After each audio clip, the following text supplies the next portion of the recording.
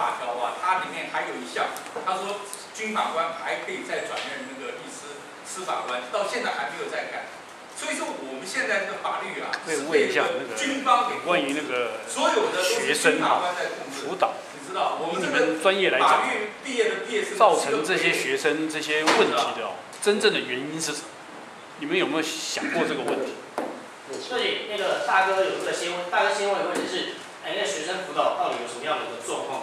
哎，何学，对，像像出现什么症结啊，比如说乱杀人，或者说是霸凌啊，他会会会出现这些东西，到底原因有没有？有没有可能是某些原因？大哥您这个问真的他已经大大在问，真的涉及了所有的教育的层面。因为因为坦白讲哦，我我是一直在想这个问题，是真正的原因是什么？因为你没有找到原因，你在辅导没什么用。应该他家庭是不是有什么？那个家庭舅舅，郑杰这个东西有的人有点富二代什么东西，他还去郑办杰这个问题有点麻烦，因为事实上，他是一个，我必须说，郑杰的这个问题是一个非常难以就是回答的问题，就是你要我在五分钟讲完，哇，那个不可能。我我怀疑五年内应该会有专门的论文跟书籍出版才对，因为他的问题是在您您问到一个是我们在所有在第一线教育都在问啊，这怎么回事啊？怎么会这个样子？连东海大学那个教官们都在问，怎么会这个样子？尤其辅导大学都怎么搞的、辅导记录调出来哦，都 OK 哦。所以刚刚那个大哥有说嘛，那个啊，这个他很会骗人啊，啊啊不就没救了吗？对，我可不可以提一个解？上看，就是一定比例的人啊，就是会毫无良知嘛。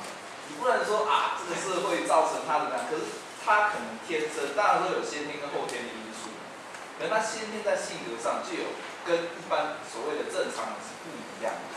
所以我们不能用正常人的正常人的成长历程或者是心理发展模式去看，哎，是不是因为我们教育出了什么问题啊，或者是家庭不够温暖什么？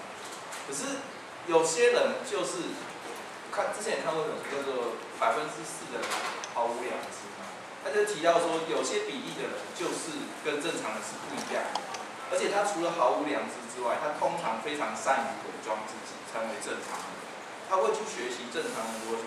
大家听起来很恐怖，说哦会不会我们身边藏了一些莫名其妙？可是这样这种人就是很少出现。你看台湾这么久，就一个正经，对吧？其实有时候你要用制度面或者是人流面去解释说为什么会有这种出现，其实是很难讲。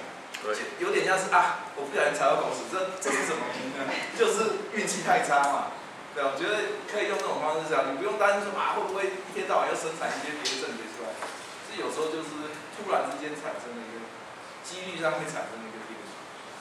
对，刚刚那个后面大哥你有这样，另外一个大哥，对对对才是在啊想说，他是说法律的不公平没有正义，你刚才又说是我风俗文化的问题，我的看法是什么？